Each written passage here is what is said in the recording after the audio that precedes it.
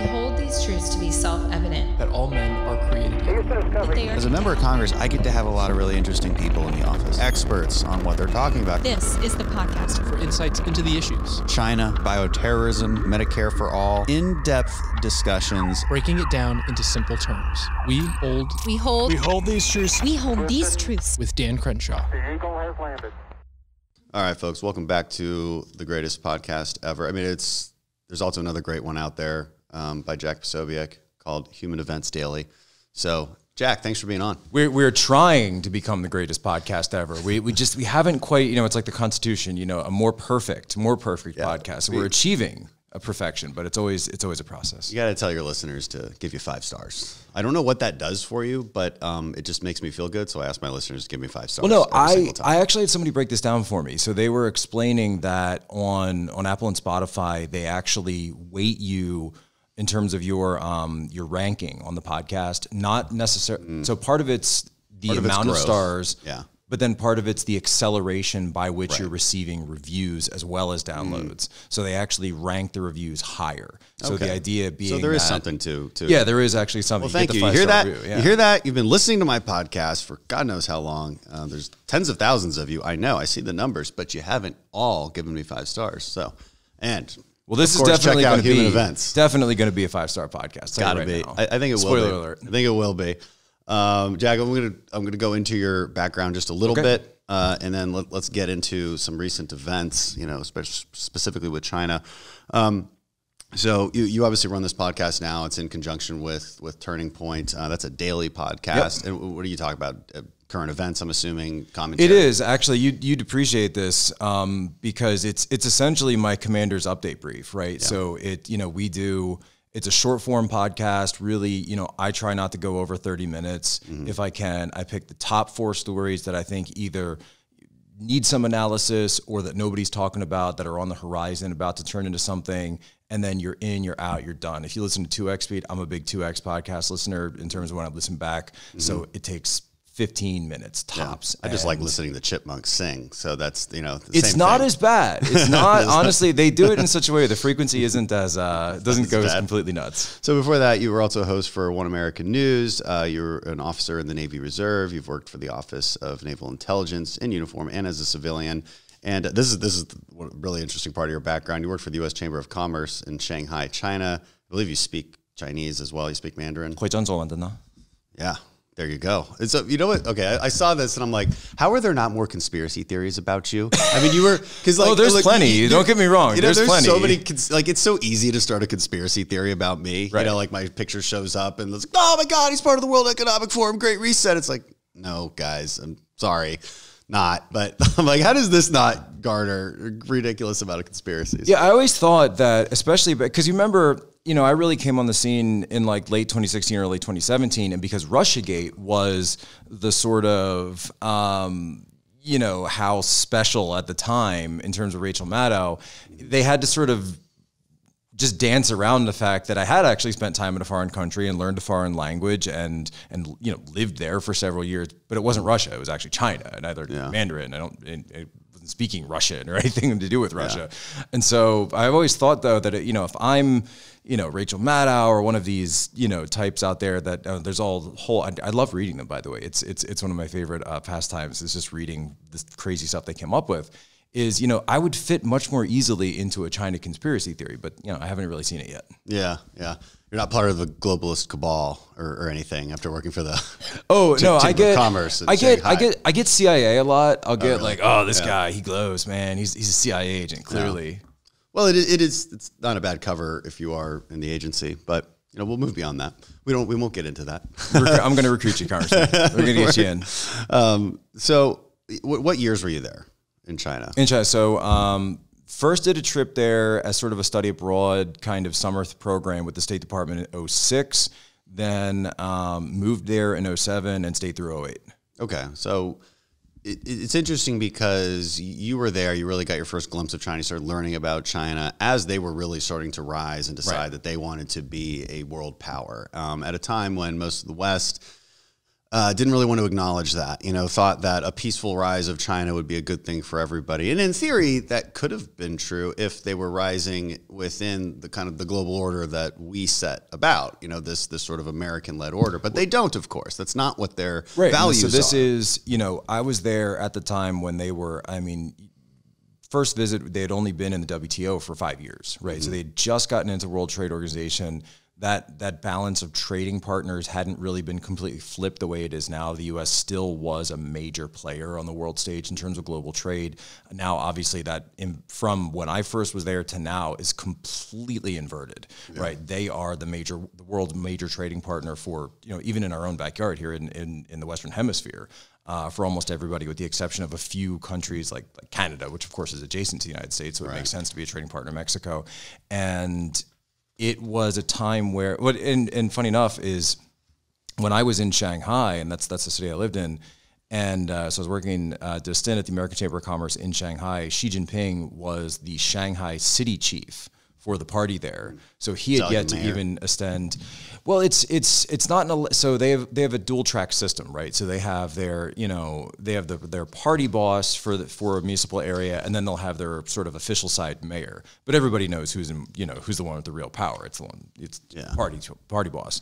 So I actually got to just briefly run into him once in 2008 in Shanghai at this World Expo event. And um, everybody knew at the time that he was going up. I mean, we did not realize that how up he would eventually make it and how fast.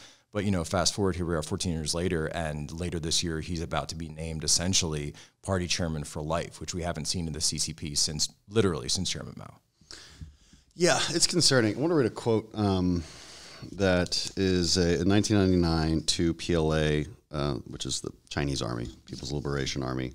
Two colonels published a book called Unrestricted Warfare. Yes. It could also be uh, translated as War Beyond Rules. And the premise, according to one of the authors, is quote, strong countries make the rules while rising ones break them and exploit loopholes. But the United States has to observe its own rules or the whole world will not trust it. And I, it, really encapsulates the dilemma that we have when, when dealing with the Chinese, because you know a lot of people in our own country say, "Look, you got to play by their rules. You got to hit them hard." Well, fine, but you're you're getting you're in a sense you're giving them exactly what they want, which is to undermine the institutions that you have set about that benefit you in the first place. And so it leaves us in this difficult situation. I mean, the military competition, the military buildup is similar. We build our military to be a, a world superpower. They build their military to screw with us and, and for, for area access and, and, and, and, and, and area denial. denial, yeah. Hmm. Yeah. So, you know, it, it's they're in an easier position perpetually, it seems.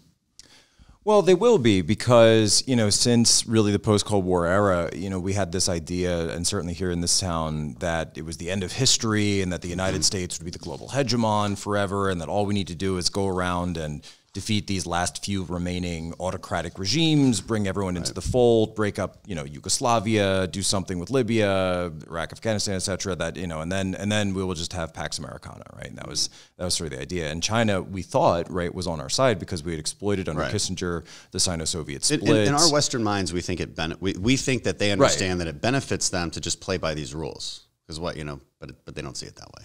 No, they don't see it that way at all. And the real inflection point in terms of all of this, and I think everyone understands, um, at least if you're listening in the United States or anywhere in the West, that it was Tiananmen Square. And so Tiananmen Square came the big. Uh, and this was the difference, right? Because in the Soviet Union, um, Russian soldiers, of course, famously refused to fire on their own civilians.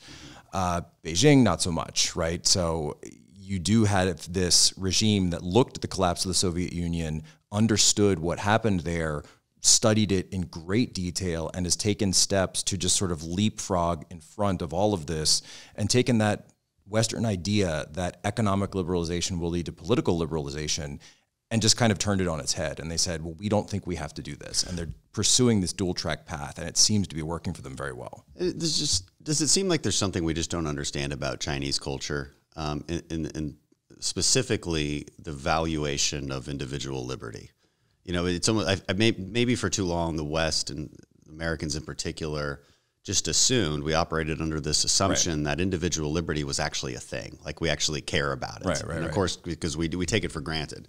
Late, lately, that's been in dispute with COVID restrictions and I- whatnot. But I do think that if Canada's that- finding that out right now. Yeah. Um, but that being said, I do think that individual liberty as a cultural value has clearly won out. I think the backlash is is very clear. Um, Democrats are, you know, trying to like you, Well, you in- can in see the- them in the starting West. to claim In the West. in our country, Yes. yeah, specifically in the U.S. I think Europe still has some ways to go, and Canada does as well Australia. Australia's doing pretty bad, but I'm just talking about the U.S. Of course. um, it does seem that individual liberty has won out, but there was this assumption that every that other cultures should also believe that. And are we just getting that wrong about Chinese culture? You spent years there.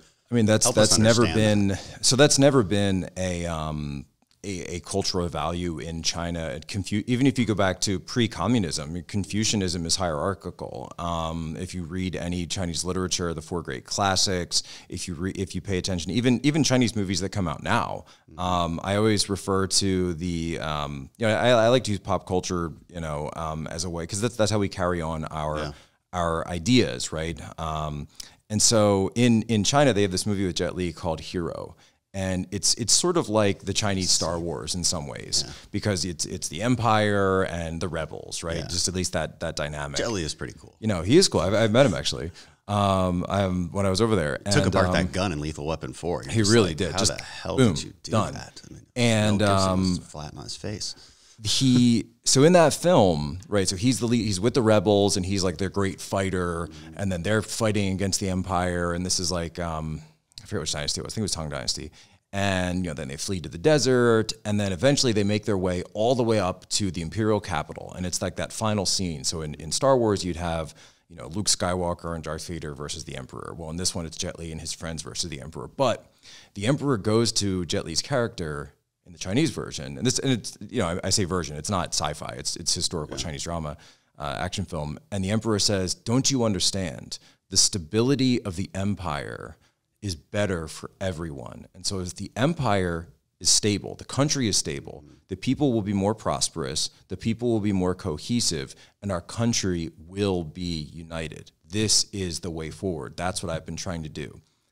And Jet Li's character hears that, internalizes it, and then instead of fighting the emperor, he turns and kills his friends. What? And then and this is the end, the end of the That's movie. That's not how the American and the movie's would go. called it's called Hero, right? And so he goes, this would be like He succumbs to the party. yeah, this would be like Skywalker saying, "Oh, right, the Emperor is right about all this. I should join the Empire." This, and I guess is you know if you if you watch the prequels, that's kind of what what um, how Darth Vader becomes about. But um, it's this idea that they place national stability, national cohesion ahead of the interests of everything. And so a complete subversion of, as what you were just saying, the idea of individual liberty being rested on the the power of the individual.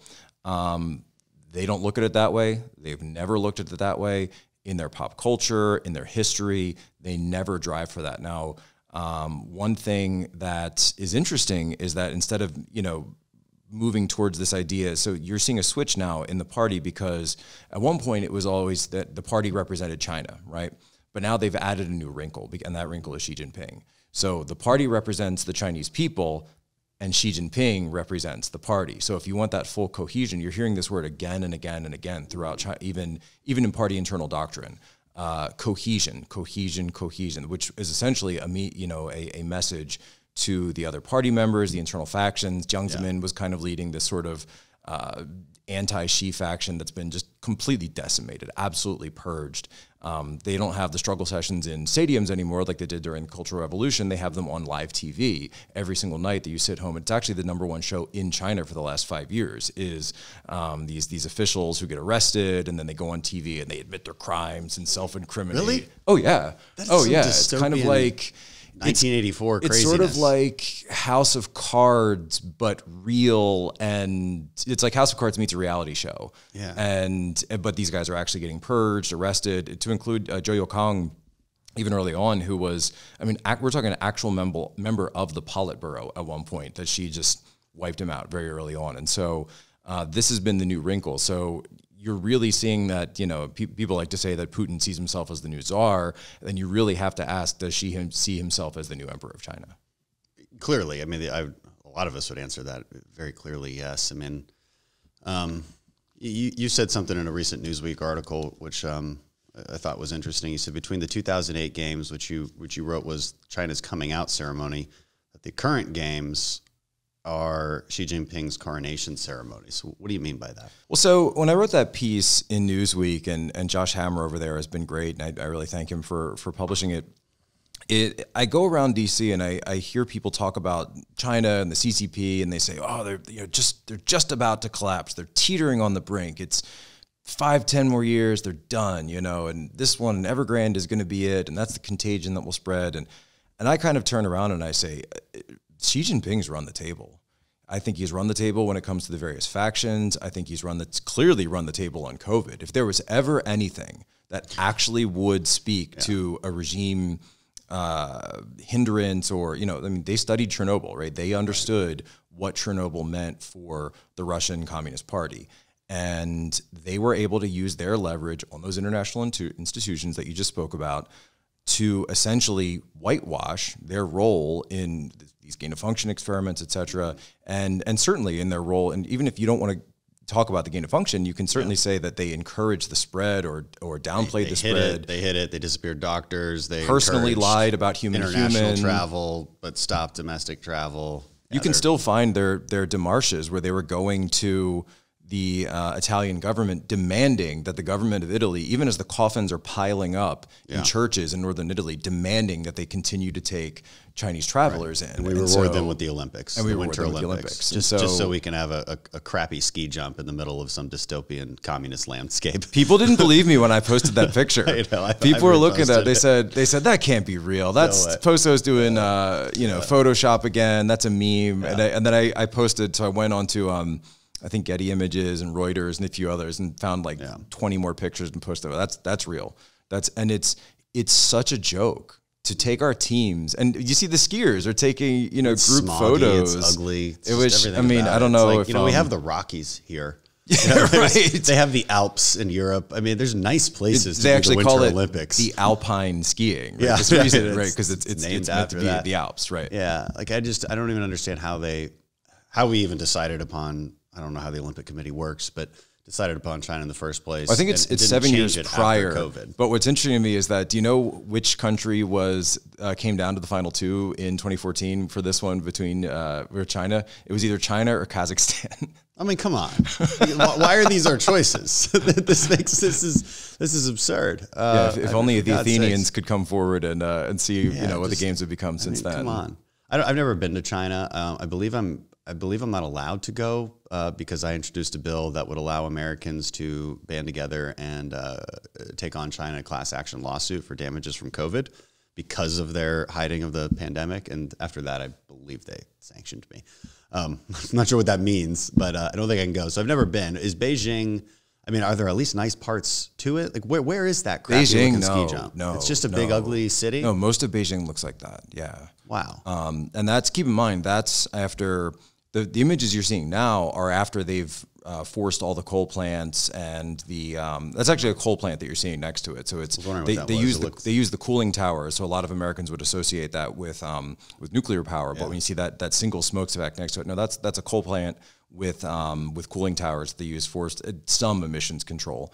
Um, but they've turned the factories off. They've turned the smokestacks off for about uh, a month prior to the games, and so they, of course that's going to hurt their economic output. But they realize that because they want to get try to get some photos of at least a little bit of a blue sky. But um, I do remember I, the one story I tell about Beijing. So the first time I went there is I remember being in the '90s, right? Um, when I was in school, acid rain was this big mm-hmm. topic. They kept telling that. you acid rain, yeah. and I, I, had this girl in my classroom. Rain, all like freak out. Right, right, right. Yeah. And I had this girl in my class who she would wear her galoshes and raincoat every single day regardless of weather, just in case, right? Because we, they were told rain. the acid rain, and we used to think that there were just clouds. The yeah. same way they used to think quicksand was just like you know on your way home, watch out for cl- yeah. quicksand. That right? was a weird '90s myth. It was That's just this. Yeah, yeah, I used to, growing up, I used to think probably. that, that that would play that quicksand would play a much larger part of my life than uh, than it actually like has. If sand just gets wet, it turns into quicksand. I mean, right? Like, yeah, that, that was that, was the contention. Like it's just myth. gone, right? So but when I got to Beijing, that actually was the very first time that I ever actually experienced acid rain in my oh, life. I thought you were going to say quicksand. Um, that, that, well, actually, funny enough, there is a desertification going on outside mm. of Beijing. So if you go towards um, really the western parts of Beijing, or if you head towards where the uh, up north or in the, towards where the Great Wall is, you you wouldn't find desert very quickly, actually, and that's also because of pollution. But when the acid rain They're hit, completely annihilating their Yeah. lakes and rivers from mining operations. Oh, I mean, yeah. this gets to a whole different conversation about where we should do mining for rare earth minerals instead of importing it from China, where they're just destroying the environment. Um, anyway, but Right. Yeah. If, you, if you're someone who actually like, if you're a Greta Thunberg out there and you're worried about you know climate, hey, hey, I've got to you know tell you all about China. Right. Um, that I remember I was wearing a white T-shirt, and of course I want to go see Tiananmen Square the night I get there because of course, right, Tiananmen Square, Beijing. So I go out, acid rain hits, and just destroyed the the, the shirt I was wearing. Just What? utterly destroyed it How did it feel? like um like a heavy rain um and and just just profoundly dirty so you, you know the old Yeah. sort of saying about What do you mean by destroyed? Like it melted off of you, or just no got not dirty? not melted but you know certainly felt like it had a chemical composition to it so that my shirt became almost like like hard right when you like when you when you use like a cheap uh, detergent or something and then and just brown and nasty so is, is that still ongoing? I mean, have they cleaned it? They it, cleaned it up has their gotten a better. It has gotten better since 2006. Um, that's one thing that you know I you know I'd, I'd be lying if I said they hadn't made strides to it. But that's really that's not because of the West. That's because people internally were saying, "Hey, they were we, just dying. We, we, we can't live here. We, we cannot live through this." I remember I had a friend, um, even from Shanghai, which isn't as bad as Beijing, and uh, when they came to the U.S. Um, this is someone who had been a teacher at the school that I went to, and they came had psoriasis um, all their whole life and took medicine for it, you know, monthly. Comes to the U.S., gone in a month, just crazy. completely gone. Skin totally cleared up, just you know, totally normal. And I remember the one thing that he said. Um, coming to the U.S. and seeing suburbs, right? Because suburbs is not something that really exists in China unless you are uh, fabulously wealthy, right? This is like the rich of the rich. Where do people? They just live in apartment buildings, Apartments, stacked yeah. up Oh, on yeah. top of each other. Yep, hundred percent. And said, "Wow, I didn't realize that people and trees could live together like this." People and trees. Right. So that the idea that you know, like a Yeah. le- like your cla- I'm from Pennsylvania, so like a classic Yeah. leafy suburb. Yeah. That that you know we would con- We love trees. consider right. You know. But um, and so that's you know I think of pollution in that perspective, and then I come back to the U.S. and I hear you know the green movement. I say, well, you know, I, I, I hear you're coming from on pollution, but you know, we we have no clue what it's like if you haven't been there and seen this level of pollution and the smog of you know a, a, a nice day in Shanghai is like you know a post a post apocalyptic orange you know the sky um my last you know deployment it's just was in- not was not in nice. Korea, and it was the, the smog there was horrendous. Korea is yeah But what Seoul not- yeah, Yeah, It wasn't Seoul- because of Korea. It was because the it was the winds were actually taking the smog from China. Because you're right across the. Gulf. Right. Yeah, no. Um, Seoul is not. Busan is nicer. Um, in terms of that. Um, the, the sky is nicer and all the way on the southern coast, um, where the navy base is there. But but Seoul, yeah, no, it's it's not very nice. Yeah, but not no, not at all. But it's because of China. I guess is the, is the point I'm making. It's it's just that bad in China.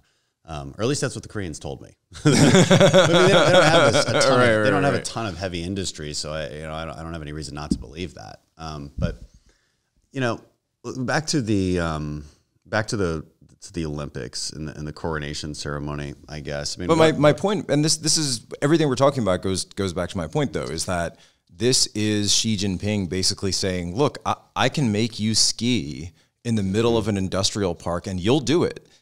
And you won't say anything about it. The athletes, of course, you know, Speaker Pelosi has told, has instructed them, you're not allowed to speak out about this while you're over there. Which, and you know, to her credit, I mean, she's not wrong about that, right? You know, Yeah, it's like you could if you, if you're being kind to her, you could say, well, she's just saying, hey, like just it's not worth it because they might disappear you. Now, Right. I don't, I don't, I don't think. But at that- the same that's an empty threat. I don't think they will. I think, I think there's something.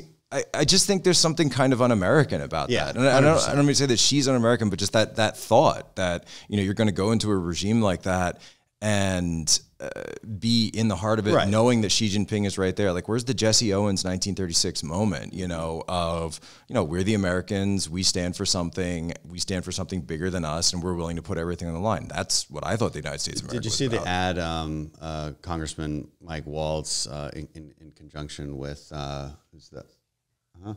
In, Enes Kanter. Right. Um, they did an ad and they got it actually up on during the Olympics on NBC. That was just that called it the Genocide Olympics. Just called out all the kind of the woke corporations uh, supporting the Olympics. You know, meanwhile they're boycotting Georgia because you know we can't do drop boxes at 3 a.m. or whatever the whatever the Right, right. contention is. Um, you know, so that's good to see. I think there is some kind of backlash. I don't know why the Democrat Party at large doesn't take this on easy. I mean, because it's the easiest political move in the world for Pelosi to say, "Hey, go athletes! Just, just stand up to those authoritarians." They're not going to disappear our Well, athletes. and, and she used to be right when she was first elected in in '87, believe it or not, uh, or I guess she '86, and then gets to Congress in '87. Uh, she was incredibly outspoken on Tibet, and you know, representing. Um, I believe at the time, I'd have to look at her district now, but at the time she had the Shanghai China or uh, uh, San Francisco Chinatown in her district, and that was again those early Chinatowns. So like San Francisco, New York, Philadelphia, D.C. to an extent. D.C. China Chinatown's not that big but um, that was people who had fled communism. And so her constituents were extremely anti Beijing. And then at the time, of course, Tibet was this, this massive left wing cause that everybody was for. You know, Brad Pitt makes a movie about it in the 90s, gets banned. I think they let him back though. Um, so there may be hope for you, Congressman. Um, that you just have to make some more positive movies about China. Yeah, You'll be good. make You'll- positive, you'll- don't you'll be good to go. You'll be good to go. Let's work on that. Um, and um, oh, I'll try sneaky in or something. and um, but you you you have this situation where over time, and you know, you really do look at the way that U.S. business and U.S. trade has increased with China. The Democrat Party has kind of saw at first it was a softening on these issues, and then it's just a complete Hillary Clinton. Hillary Clinton, when she was First Lady Clinton, is uh, famous for going to Beijing and speaking out about women's rights. Right, this was uh, seen as a a milestone of the feminist movement. It was something that she talked about a lot when she ran for Senate in New York, and just complete silence. Yeah, I mean, it, you know, it kind of begs the question. So, so this this week we um, uh, the House passed the Competes Act. Um, most Republicans, if not all Republicans, uh, voted against it. Uh, now, but but it is a Democrat attempt to you know compete with China, to to outmaneuver China, to out-industrialize policy China. Um, and there has been, you know, some, um, you know, some talk of that on the right uh, to to an extent. I, I think, I think it's more of a kind of a cultural awakening. Like, look, we need to compete with China, and we need to figure that out. Right. Um, completely libertarian trade economics won't work with China. I think, I think that's more the realization on the right. I don't think that necessarily translates into policy that says let's just have grants for corporations that um, so that they can build supply chains. Because I'm not sure. Well, what this that has means. been what's what's interesting that, that you bring that up is because in in as I said before, in, in China, they have a whole of society approach to all of these things. So for them to subsidize eh, industry to pursue a mercantilist policy versus uh, you know free trade, you know, kind of Milton Friedman sort of approach, um, that's that's inherent in in their way of thinking. They would think, why wouldn't we subsidize these things? Whereas in the United States, you know, we do come from more of a free trade, free enterprise, free market um, tradition, and so the idea we, we don't even have departments, you know, in the United States government to to run that sort of thing. And we certainly have uh, tax carve outs here and there for various things, but nothing on the scale of of what the PRC is able to bring to bear. And it's just not something that's that's been in our tradition. It never has been. No, and it, and it begs the question: I mean, should we even try? And uh, I, I, I think most of us land on the answer is no, because you just can't out subsidize what they're going to subsidize. They'll just they'll just keep going up to a point where you know we just can't we can't keep going up that ladder. And so the question is, what do we what do we do? Um, because there is an interest too in still having our businesses be allowed market access to them. One of the one of the most interesting things that I've I've been able to note in all of this lately is is and I've become and I really I really focus on Xi Jinping. I really watch what he says when he went and spoke um, at the World Economic Forum. You know, your your handlers, your leaders, yeah, my your- handlers. Oh, I gotta call them right now. um, and the this he delivered a speech about um, you know you know talking about responsible leadership and cooperation. Of course, he's going to say all those things. And there was an interesting moment though where he made a not so veiled reference to um, interest rates in the United States, and he said, "I don't want." He essentially was saying, "I don't want to see the Fed raising interest rates." Which I think everybody on the street knows is is, is coming. It's it's probably coming. It's just been you know the money printer's been going on for too long. Rates have been essentially negative. You know, vis-a-vis inf- inflation's out of control. So you got to do something, right? And he was kind of warning it really, I mean, directly speaking out on this policy as saying, I don't want this to happen i- with, you know, global partners. And that struck me as interesting because we know, look, uh, Ray Dalio at Bridgewater's talked about this. Larry Fink at BlackRock has talked about this. They still BlackRock is triple down, tripling down on their China investment. They're encouraging more investment in China. Uh, Ray Dalio has said from Bridgewater that he views the next century as the Chinese century, and he said, "Look, it's a fait accompli. So either you're on board and you can make money, or you know you stand off the side and, and just let them win." Um, but I noticed that when Xi Jinping talked about the financial side of it. You know, this was one of the few times you really see him actually talk about any specific policy. So I noticed that he real and, and we look at China, right?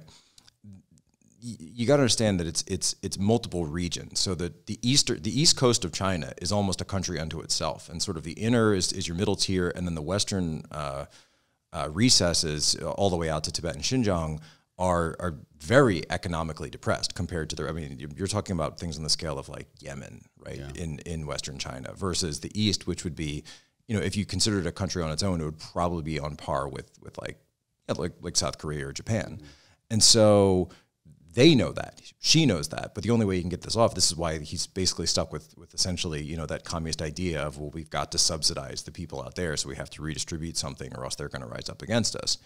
And so he's been doing that but at the same time he's been able to do that because he has this massive influx of foreign direct investment and capital from the United States, which he knows is able to, that- that BlackRock and, and uh, these other corporations are able to do, money market firms are able to do because they interest rates being where they are. So it's it's interesting kind of seeing that whole chain lead up to Xi Jinping actually mentioning it as a you know again when he's meeting with your friends at the World Economic Forum.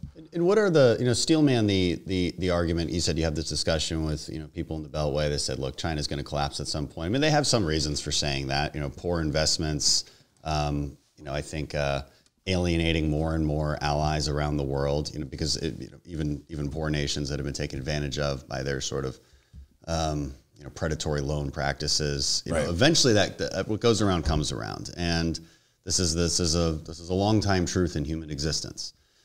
And, and eventually, maybe that catches up with them. Uh, their aging population problem. You know, they have these like ghost cities, just, you know, that are just built for nothing. I mean, it doesn't, you know, to an extent, it doesn't seem sustainable. Um, but so, what are the best arguments there? Sure. So the best arguments, I mean, you you outlined a few of them. Um, other ones, of course, the, the religious persecution, Falun Gong, House Christians, um, obviously the Uyghur situation.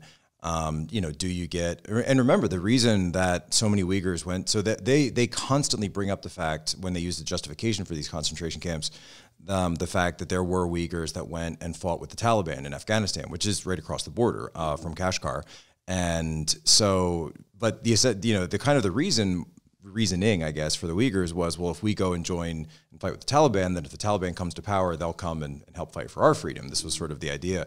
But of course, the Taliban, as we've seen, has not has not reciprocated this at all. And they said, you know, they're looking at China as saying, well, you know, this the same deal that you're seeing from from Ray Dalio and, and everybody else at, at BlackRock that hey, these guys have money, they're going to be the power in Central Asia.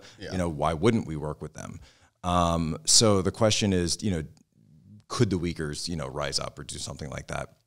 And then if you, um, probably the biggest one though, also that I see when I see China is this idea that uh, these these middle provinces though. So this you're talking about. Look, when you have a couple percentages of unemployment here in the United States, and we just went through that with these lockdowns, right? You know, we were able to subsidize ourselves and and get through that. Now we may be um, having to pay the piper on that very soon here, and you're probably going to see a big crunch. You're already seeing that in the tech sector with because you know people got the money, they went right to the blue chat, you know, the blue stocks or blue chips.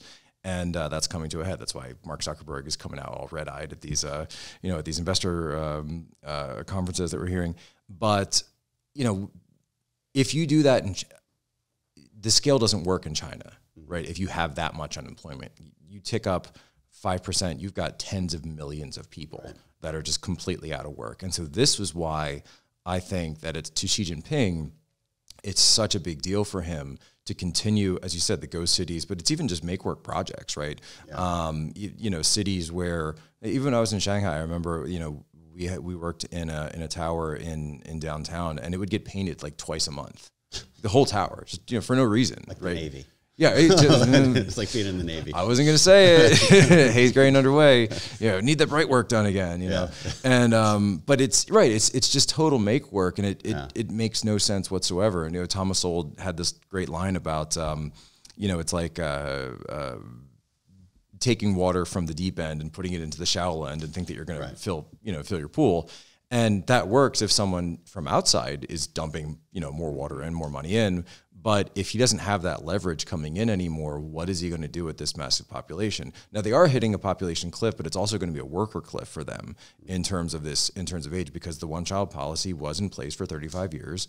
Um, and you had so you have this whole gen and by the way you have this whole generation right now where it's kind of like uh, kind of like New York in the 80s. Like, how do I make money? How can I get rich? How can I, you know, do all this? Like, they're not, it, some people, yeah, sure, you've got, you know, your nationalists over there. I want to do this for the glory of China. And they talk about, um, Right. But do you, know, think there is this sort of rebirth of individual liberty, cultural identity? That do you think that's what that is, or do you think it can at least lead to that? You think greed can lead? I to think that? it's I think it's more like Wolf of Wall Street. I think it's more like how do I make money? And then the party understands this, right? And they've they've been the ones that have inculcated it. So that's why you're starting to see the party now kind of put kind of pump the brakes on some of this, right? We're saying that, you know, uh, Jack Ma obviously is, is the biggest example of saying, you know, don't get too big for your britches. We're not going to allow these private bank accounts like he was trying to push, which is what they went after him for, which Charlie Munger um, said he thought was great to take out a guy who's trying to create his own banking system. Um, and then, so they are trying to curb that. And they, I think that they are potentially worried about it going in that direction of having anyone who could have the ability to seriously threaten the party. But the way the party works, it's it's very insidious in the sense that you know if you're out there, if you're you know running an engineering firm or running an investment firm, or you're just doing something eh, that they've allowed to to build up, what they do is they then they approach you and they see you're you know kind of like on your way up, and they say, hey, you know you've reached a certain point in your career, we're going to offer you membership to the party. And then so this is how they're able to essentially co-opt everybody on the way up because if you say no, you're done, right? If you say no, that's it's because it's a double-edged sword, right? If you say yes, you're opening the door to the rest of your life. run it like a mob. Yes, very much so. And, and you know, the question will, be, will always be, is that sustainable? And, and I don't think we know the answer to that. But I guess so the next question is, how can the United States, now that, we, I, I, and I think we've had an awakening at this point in our country. Again, the Democrat Party is, is, is lagging behind a little bit on this. But there's certainly an awakening that at least we know that they are, they're, this is not some peaceful rise. Okay, this is, this is made in China 2025. This is the Belt and Road Initiative. Um, Xi Jinping does have these, these, these grand visions for what China will be um, in, the, in the near term, at least a regional hegemon, but potentially global in the future. So, what is the, what is the U.S. strategy, and what do we need to do? What should we be thinking about in Congress um, to, to hit that strategy? Again, I, I mentioned the Competes Act. Um, perhaps well intentioned, but it was unclear to me what they were going to do. It was basically a bunch of grant money, a lot of corporate buyouts, or, or you know, buying off corporations, a lot of cronyism. It's unclear to me how the government creates supply chains, um, but that was that was basically what the purpose of the granting was for. So, Well, and it's know, also not- so that that you know anyone who voted for it can go back to their constituents and say, "Look, right. see, I just voted to, to build a supply chain, but those darn Republicans, and yeah, you know, yeah, we would have had a supply chain, but it's like, what does that even mean? How do I just create a supply? Supply Right. chains are complex.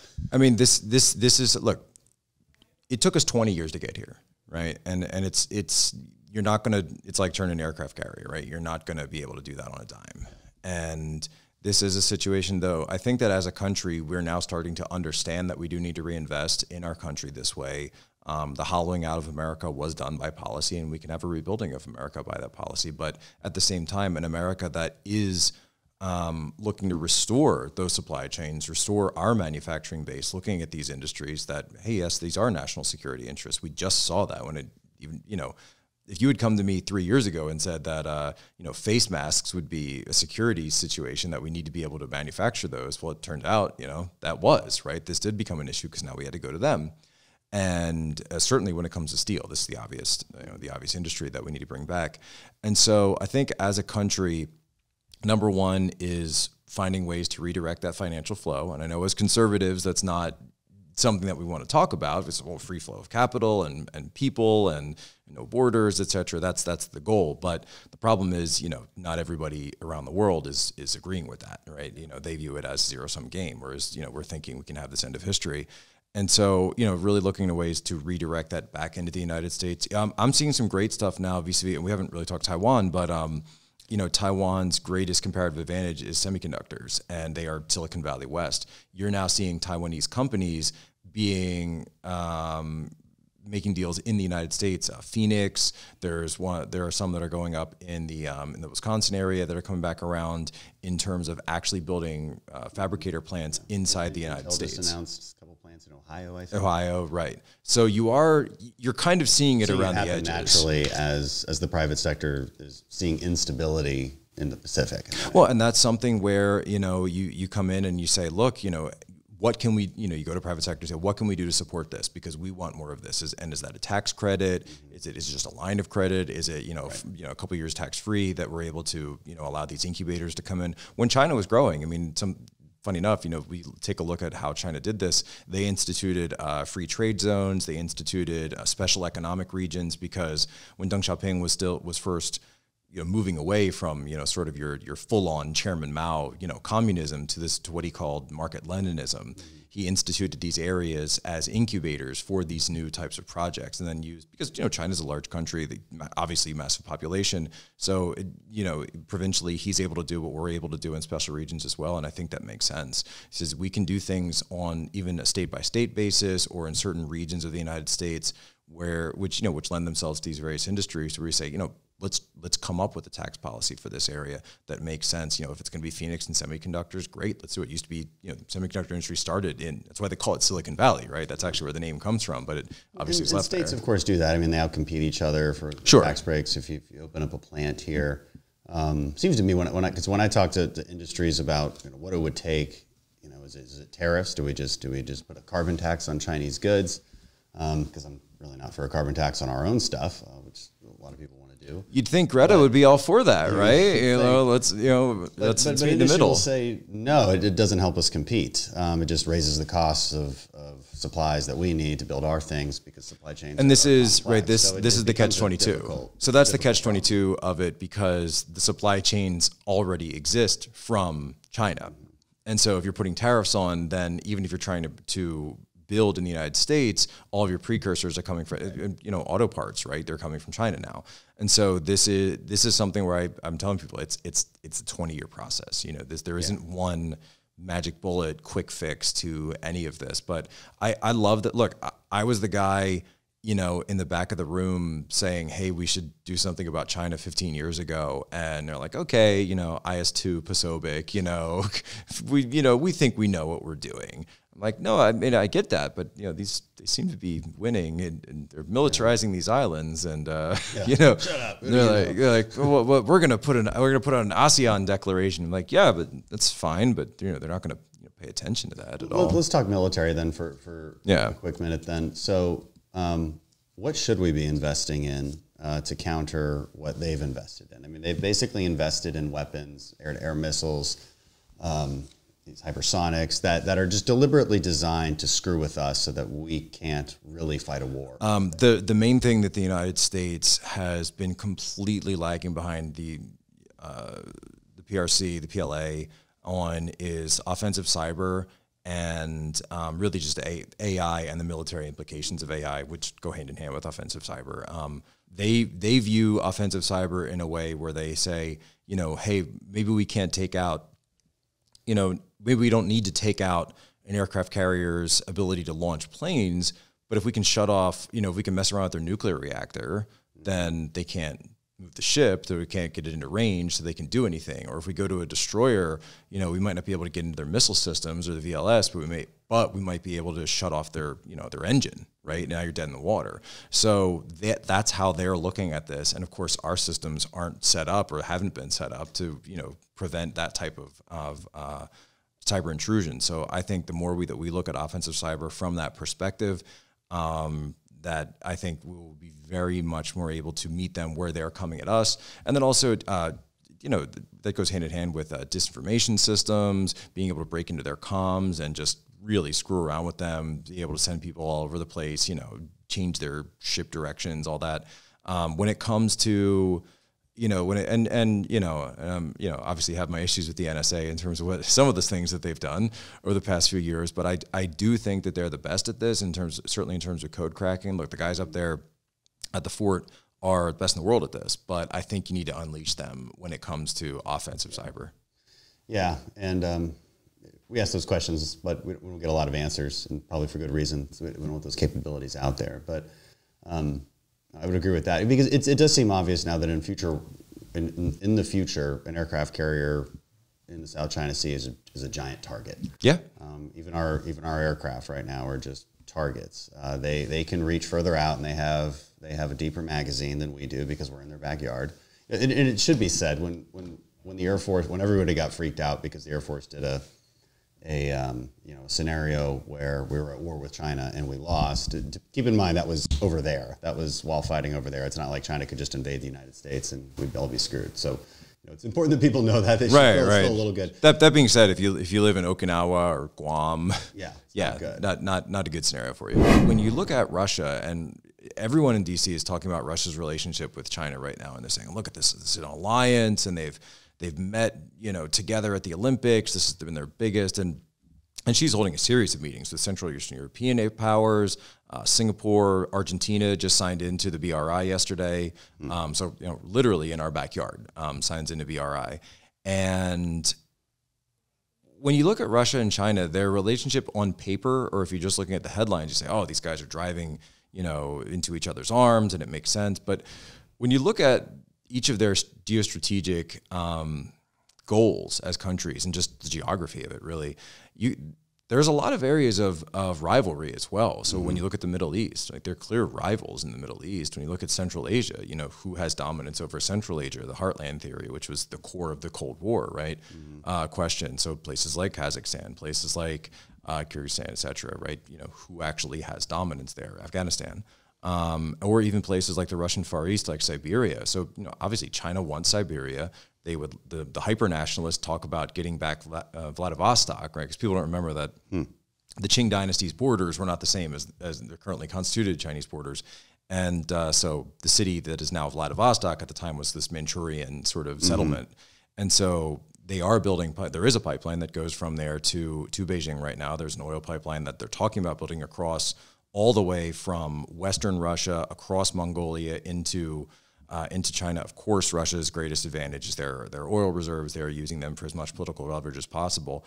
But you do see rivalries there, and I think there's a real reason that you haven't seen a major military alliance be signed between Russia and China right now, because I think Russia understands that if they were to do that, they would be junior partner very fast, mm. and China would be able to start dictating to them terms. Right? You know, we do want this territory back, or we want you know special uh, access to these oil reserves, and so I think Russia kind of realizes that they don't, you know, they need a relationship, but they don't want to be fully in on the relationship, which is kind of similar to Washington when you look at it that way. Yeah, yeah that makes sense. Um, back back back to the original question though, about Taiwan is what can we do better now uh, that would potentially prevent fix the navy fix the navy i mean you got to make taiwan a porcupine and i guess the question is how i mean i've heard complaints from the dod that taiwanese just don't buy the stuff that they should be buying from us mm-hmm. they have the option but they don't buy it um, you know they, they buy fancy looking things um, which is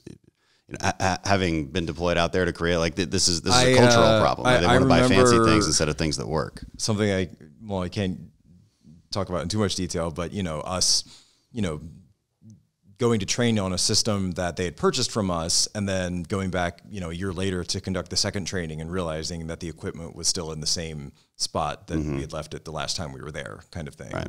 in taiwan and so um, you know i think i think when it comes to taiwan you know making it making it a poison pill right so you know we don't make it harder for them to be able to purchase it or, or, or take it obviously invade it um, but really when I, I think it comes to taiwan at the end of the day China's policy, mainland China's policy, has been assimilation, right? Isolation and assimilation. So isolate from the global power, global world, but then also assimilate to a generational kind of takeover, right? Just mm-hmm. and just take it through osmosis. So I don't know if this is the the Western conception of they are just going to invade and take it over, unless unless you know you really saw Xi Jinping or, or the party in some huge regime collapse scenario where he needs to restore legitimacy. Otherwise, at the end of the day, I think it it does also still go back to those economic ties. Increase our economic ties with Taiwan. Increase obviously, you know, we're going to need semiconductors. We're going to be driving Ford F two fifties, et cetera. Right? We've, mm-hmm. we've got chips and everything now. So as the more we increase that, the better off Taiwan's situation is for us. Okay, well that, that's a hopeful that's a hopeful answer. Um, and well, what do you think is going to happen in Ukraine? You might have a different opinion on that than that you clearly do than say the administration. The administration think- thinks it's imminent. So you know, it's funny is is you know, as I was kind of digging into the Vladivostok stuff a minute um, recently, and and the way that Russia actually was able to get that treaty to get Vladivostok or the area that Vladivostok is now in the Russian Far East was that they amassed troops on China's border, and they said they they threatened to invade unless China signed something over, which which the Qing dynasty later did because the, they had just lost the Opium War and they were in no position to uh, make any demands. And I said, wasn't that kind of interesting? You know, similar to what Russia's doing now. So it's it's you know achieving diplomatic and in that case territorial uh, claims without actually having to fire a shot. And I said, I wonder, because I mean, look, the, the Kremlin has a blob and a foreign policy establishment the same way the United States does. They view the United States as their greatest enemy. They view our missile sites in Romania and Poland as existential threats to them. Um, and it, it's interesting to me, though, is that you know, is this something in their doctrine that they've clearly used before? I think I think they want concessions. I think they want Just you know they've built some leverage up, and they're going to use it. They were they're going to see whatever deal they can get, and whether that's you know for the entire Donbass region or diplomatic recognition for Crimea and the separatist controlled areas of Donetsk, you know, we'll see. But that being said, I think when I see that, like you said, the giant table with uh, with Putin and Macron, I think that's him saying, "Make me a deal." Yeah, yeah. That's also a hopeful outlook. I think it's in Um, their uh, interest. I don't. I don't think. no, it's a, it's a completely that rational to- rational analysis. I don't think that going to war is is in their national interest Right. at all. I think it would be they'd be expended very quickly. Certainly going to war with with with NATO, you know, Article Five, and, you know, and having family that are you know from that region, uh, you know. Nobody wants more, or nobody wants war less than people that live in Eastern Europe. Yeah, yeah. No, I don't mean hopeful as in naive. I mean it's Yeah. it's, it's it's it's a certainly a potential outcome. Uh, Jack, we're basically out of time, um, and I think I got to go vote. But uh, thanks for coming on. This has been this really has been very good and informative uh, on a pretty hot topic right now. So thanks. Jeez, yeah. Appreciate it, Congressman. All right, we did it.